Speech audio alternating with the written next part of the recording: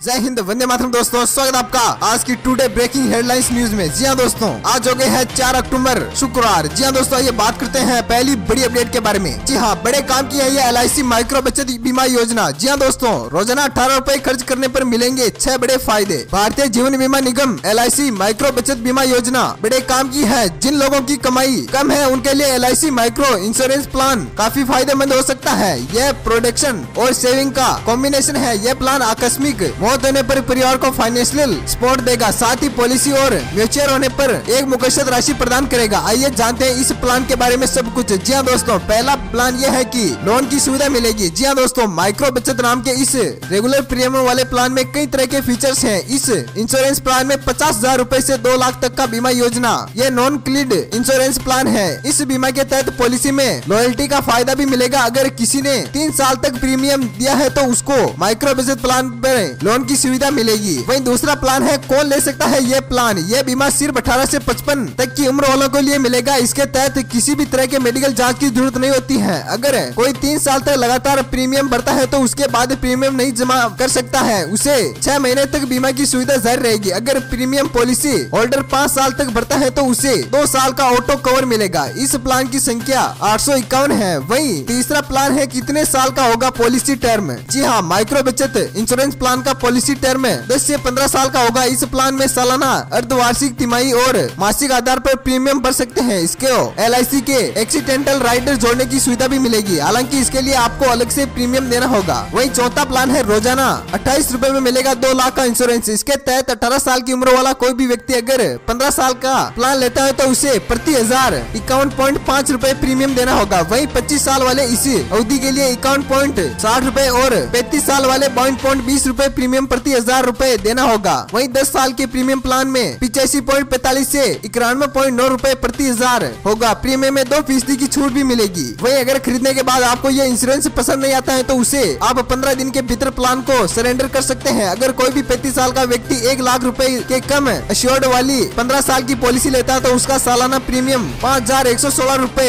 आएगा। चालू पॉलिसी में छिहत्तर फ़ीसदी तक रकम का लोन मिलेगा। वही चुकता पॉलिसी में साठ फ़ीसदी तक रकम के लिए लोन की पात्रता होगी। वही पांचवा प्लान है यह है गणित। अगर किसी भी व्यक्ति ने पैंतीस साल की उम्र से अगले पंद्रह सालों के लिए यह पॉलिसी को लिया है तो उसी सालाना बावन पॉइंट बीस रूपए प्रीमियम जमा कराना होगा इसी बीच। यदि कोई दो लाख रूपए का निश्चित राशि देता है तो उसे सालाना बावन पॉइंट बीस, यानी की दस हज़ार तीन सौ रूपए जमा कराने होंगे। रोज़ाना अट्ठाईस रूपए और महीने में आठ सौ चालीस रूपए का प्रीमियम जमा कराना पड़ेगा। वही लास्ट नियम यह है की प्रीमियम भुगतान का सेक्शन अस्सी ऐसी तहत मिलेगी, इस पर छूट। जी हाँ दोस्तों, इस दौरान पर दस पॉइंट बयालीस फ़ीसदी की दर ऐसी ब्याज देना होगा। प्रीमियम के भुगतान के लिए एक महीने तक की छूट रहेगी। पॉलिसी के लिए मेच्योरिटी का अधिकतम उम्र सत्तर साल होगी। यह एक लाइफ इंश्योरेंस पॉलिसी है। इसको बता दें कि प्रीमियम में भुगतान पर सेक्शन 80 के तहत इनकम टैक्स की छूट होगी। वही दोस्तों, एक और बड़ी अपडेट निकल सामने आ रही है। चंद्रयान टू को लेकर एक बड़ा दावा। खुद को जगा सकता है विक्रम लैंडर। जी हाँ मिशन चंद्रयान टू को लेकर अब तक एक उम्मीदें बरकार है। करीब एक महीने ऐसी ज़्यादा का समय बीत चुका है, लेकिन विक्रम लैंडर ऐसी संपर्क स्थापित करने की कोशिश जारी है। इस समय चाँद पर रात है, इसलिए सुबह होने का इंतज़ार किया जा रहा है। इस बीच विक्रम लैंडर को लेकर एक दावे किए गए हैं अमेरिकी स्पेस एजेंसी नासा ने कुछ तस्वीरें जारी की हैं, लेकिन सफलता हासिल नहीं हुई है। इसी बीच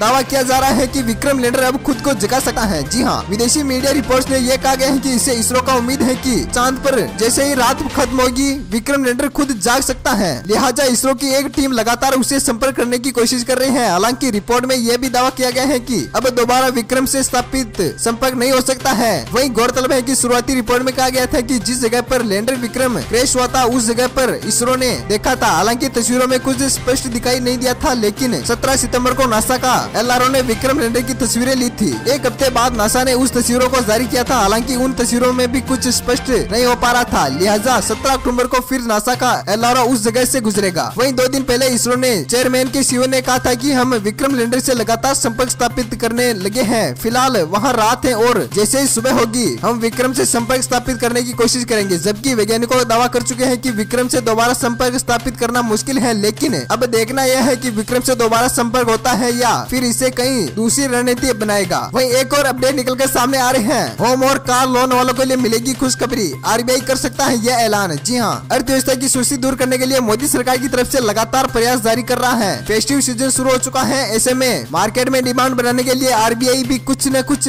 फौरी इंतज़ाम कर सकता है। जानकारों की राय ने मॉनिटरी पॉलिसी कमेटी की बैठक के बाद चार अक्टूबर, यानी कि आज आरबीआई की तरफ़ से कोई बड़ा ऐलान नहीं किया जा सकता है। वही रेपो रेट में कटौती से बाज़ार में डिमांड पैदा होगी। लोन सस्ते हो जाएँगे, खासकर होम कार और कंज्यूमर लोन पर असर देखने को मिलेगा। लोग फिर से खरीदारी पर फोकस करेंगे। जानकारों का कहना है की डिमांड पैदा करके ही सरकार इकोनॉमी को बूस्ट कर सकती है। वही मौजूदा कारोबारी साल में आरबीआई के एमपीसी की चार बैठकों में हर बार रेट कट करने का ऐलान हुआ है। उम्मीद है की हर बार भी रेपो रेट का कटौती हो। पिछली बार रेपो रेट में पैंतीस बेसिस पॉइंट की कटौती की गई थी। वही एक और बड़ी अपडेट निकल के सामने आ रही है, वैष्णो देवी के भक्तों के लिए एक बड़ा तोहफा, अमित शाह वंदे भारत एक्सप्रेस को दिखाएँगे हरी झंडी। जी हाँ माता वैष्णो देवी के भक्तों के लिए आज बड़ा तोहफा देने जा रही है सरकार देश में सबसे बेहतरीन सुविधाओं को लेकर वंदे भारत एक्सप्रेस के नई दिल्ली में कटरा माता वैष्णो देवी रूट की शुरुआत हो रही है। केंद्रीय गृह मंत्री अमित शाह आज नई दिल्ली में रेलवे स्टेशन से माता वैष्णो देवी के दरबार जाने वाली वंदे मातरम एक्सप्रेस को हरी झंडी दिखाएँगे। ये ट्रेन माता के पावन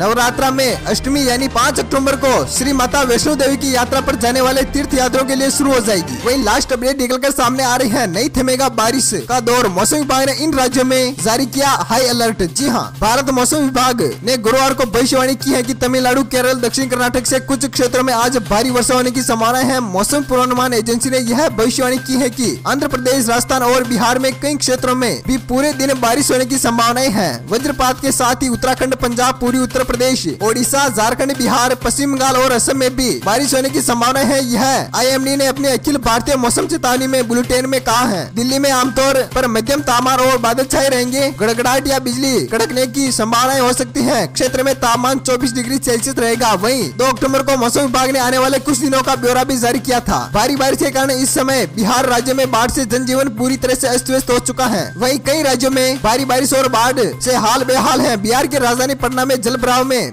त्राईमाम मचा है पूरी उत्तर प्रदेश में। हालत बदतर हो चले हैं। मौसम विशेषज्ञों के मुताबिक, इस मानसूनी बारिश ने देश में बीते 25 वर्षों का रिकॉर्ड तोड़ दिया है। वहीं केंद्रीय गृह मंत्रालय में आंकड़ों के मुताबिक बारिश में देश के कुल चौदह राज्य प्रभावित हुए हैं। तो दोस्तों मैं उम्मीद है ये ज़रूरी अपडेट आज सभी को जाने को मिली होंगी। वही दोस्तों, आपने अभी तक ई न्यूज़ चैनल को सब्सक्राइब नहीं किया है तो वीडियो के नीचे लाल बन दिया, उससे सब्सक्राइब किए, साथ में छोटा सा बेल दिया, उसको दबा दिया thank you take good bye